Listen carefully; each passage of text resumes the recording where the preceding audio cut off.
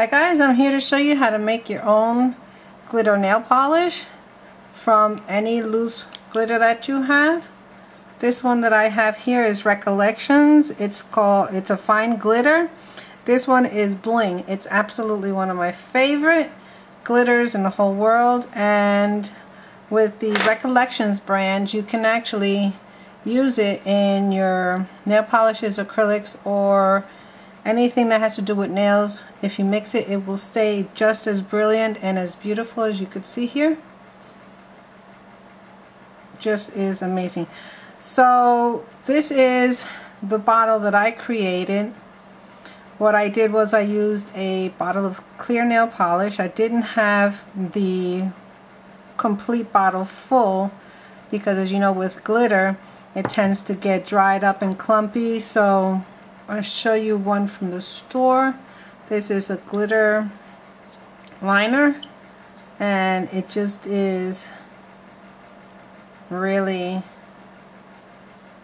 dry and and not constituted properly so what I like to do is with my glitter polishes like this liner um, instead of adding any nail polish thinner to it I like to reconstitute it with clear nail polish. It keeps it from getting all um, messed up if you keep putting thinner in it. So again, it's the glitter, the clear, and I filled only half the bottle so I can have a more intense glitter because if you have too much product in here, too much nail polish, then you're going to have to put so much of the actual glitter. Let me see if I find a nail to show you on. You're going to have to put too much of this glitter into the bottle and it won't have enough room to put as much as you want. Okay, so I like my glitter to be on the thicker side. So it gives me good coverage. Let me just turn it to the side. I'm just stirring it because it has a lot in here but yet it's still manageable so with glitter. It's a question of dabbing it on not stroking so you put and you dab. You could see the full coverage that this gives you. I do admit that when I go to church and my nails have this on it it just glitters so much that a lot of the time I'll be sitting there just staring at my nails because it's like diamonds.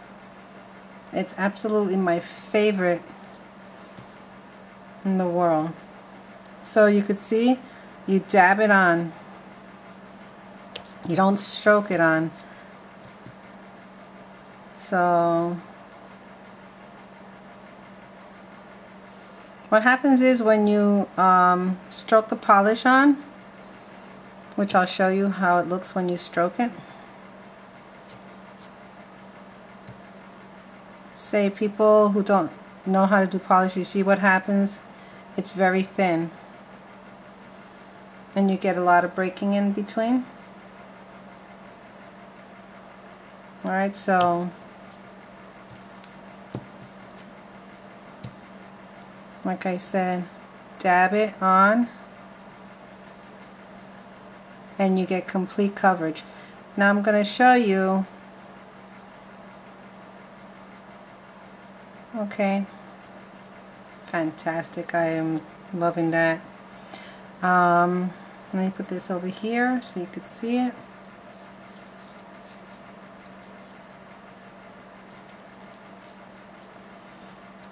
What I'm going to show you is basically I'm just going to close this for right now but I'll show you.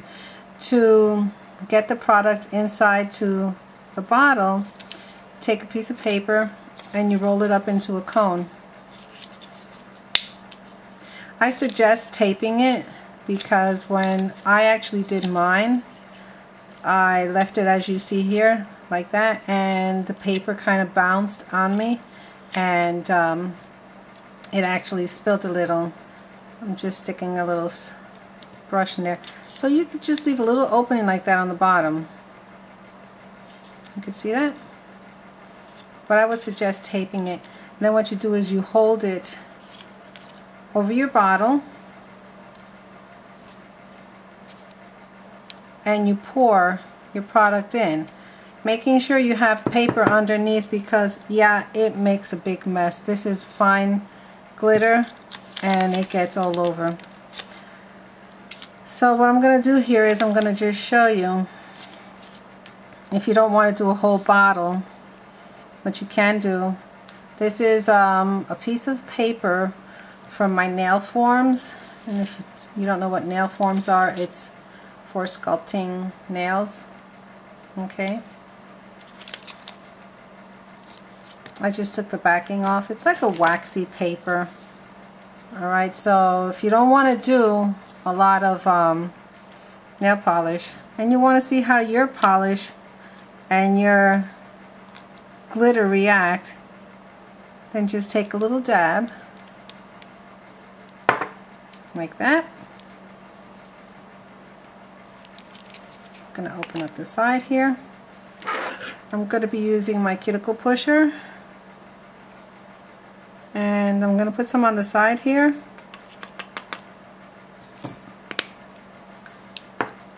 And with my orange wood stick I'll just bring some over and just swirl it in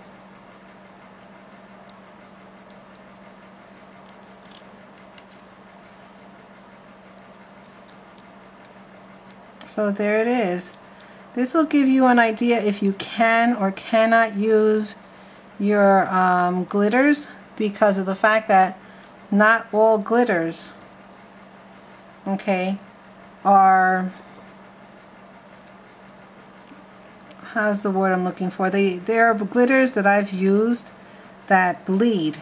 And as you can see I'm just throwing in a little dab more of the I'm not touching the glitter because I do not want to contaminate my clear with it but um, some glitters tend to bleed and they're not good for this process. So I'm going to take a liner brush. I'm going to clean that off a second. I'm going to come in here.